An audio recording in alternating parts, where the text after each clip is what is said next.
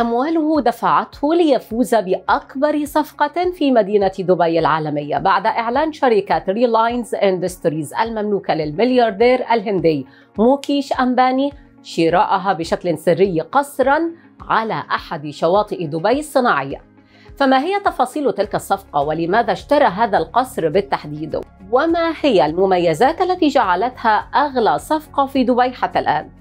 كل تلك التفاصيل ستعرفونها حالا في التقرير الذي معنا. تقارير إعلامية نشرت أن الشركة المملوكة لرجل الأعمال واسع الثراء موكيش أمباني فازت بأعلى صفقة عقارية حتى الآن وذلك بشرائها قصرا على شاطئ دبي الصناعي بسبب شغفه بالمكان. التقارير ذكرت أن القصر قيمته 80 مليون دولار نقلا على لسان شخصين مطلعين على الصفقة يقع العقار في جزيرة نخلة الجميرة وتم شراؤه في وقت سابق من العام الحالي لصالح نجل أمباني الأصغر أنانت.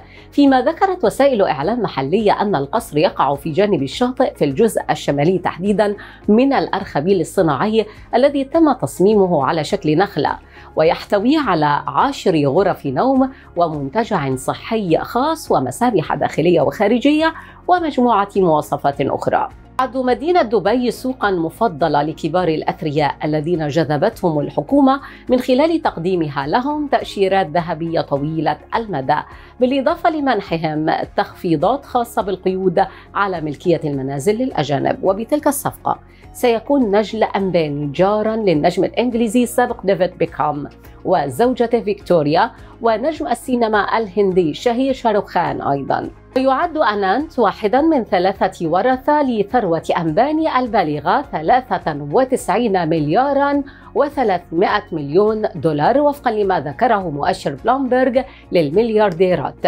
حيث جاء أنباني في الترتيب الحادي عشر في قائمة أغنى أغنياء العالم ويبلغ من العمر الآن 65 عاما. حيث جاء أنباني في الترتيب الحادي عشر في قائمة أغنى أغنياء العالم ويبلغ من العمر الآن 65 عاما حيث بدأ في تسليم إدارة أمواله ببطء لأولاده بعدما تربع على عرش إمبراطوريته واتجه مؤخرا للاستثمار في مجالات الطاقة الخضراء والتكنولوجيا والتجارة الإلكترونية. كشف أحد الأشخاص أن العائلة بدأت في الأيام الأخيرة تكثف تواجدها في القطاع العقاري بالخارج.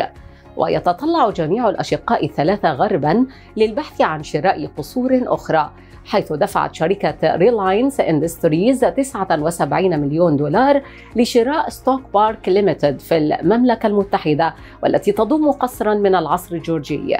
قال إنه مخصص للابن الأكبر أكاش الذي تم تعيينه مؤخرا رئيسا لشركة الاتصالات ريلاينس جيو إنفكوم بينما تبحث أخته التوأم عن منزل في العاصمة الأمريكية نيويورك.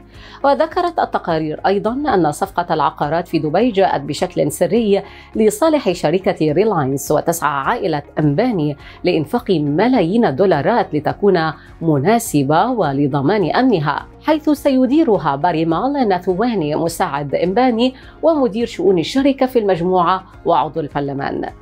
التقارير ذكرت كذلك أن عائلة باني سيكون مقرها الرئيس في أنطاليا وهي ناطحة سحاب مكونة من 27 طابقا في مدينة مومباي التي تضم ثلاثة مهابط للطائرات العمودية وموقفا يتسع ل 168 سيارة ومسرح سينما يتسع ل 50 مقعدا وقاعة احتفالات كبرى وتسعة مصاعد.